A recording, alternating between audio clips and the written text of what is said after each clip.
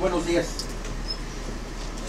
Luego de los actos de vandalismo y saqueo de comercios que se dieron en la zona conurbada Veracruz, Boca del Río, Tierra Blanca y en mucho menor magnitud en Jalapa y Coatzacoalcos, las corporaciones policiales del Estado, en coordinación con la Policía Naval, reaccionaron de inmediato y detuvieron en flagrancia a 103 probables responsables de la comisión de los delitos de asociación delictuosa, privación de la libertad, lesiones, daños, incitación a la violencia, robo agravado, terrorismo y motín, entre otros.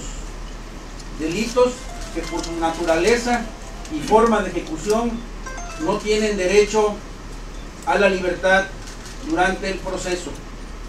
Los presuntos delincuentes están siendo puestos a disposición de la Fiscalía General y se solicitará a los jueces de control competentes que no se les otorgue el beneficio de libertad.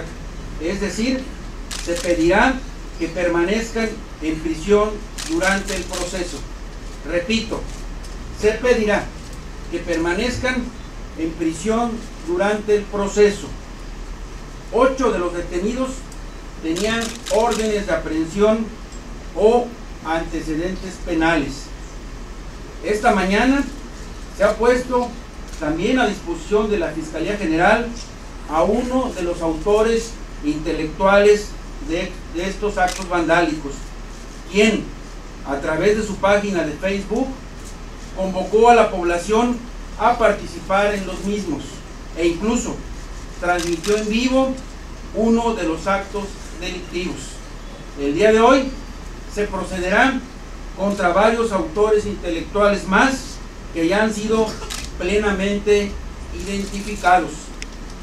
La policía está trabajando en la identificación de los demás individuos que a través de diversas redes sociales convocaron a la realización de estos ilícitos.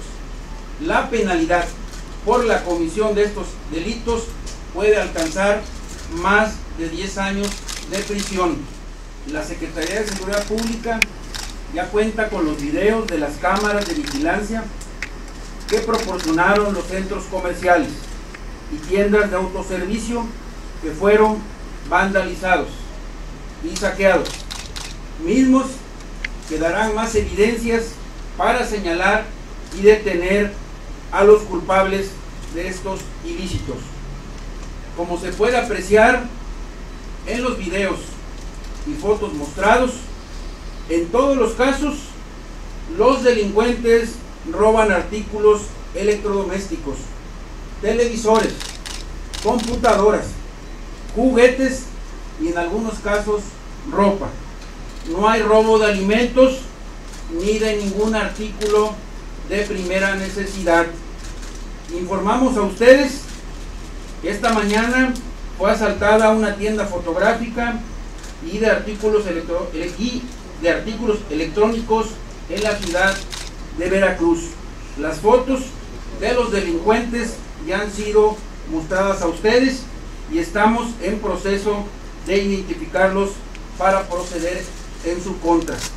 La Secretaría de Seguridad Pública ofrece medio millón de pesos a quienes identifiquen a los líderes de los que participaron en estos actos delictivos y aporten elementos que conduzcan a su detención.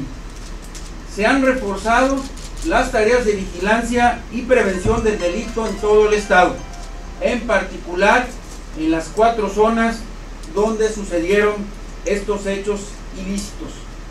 El resto del estado se encuentra en situación de estabilidad y no se han presentado problemas de violencia.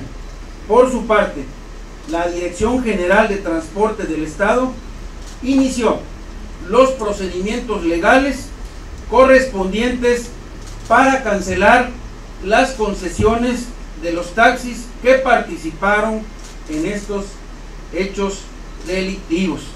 El gobierno de Veracruz reitera que aplicará la ley con firmeza y con todo el rigor en contra de quienes cometan actos vandálicos y violenten el Estado de Derecho. Muchas gracias.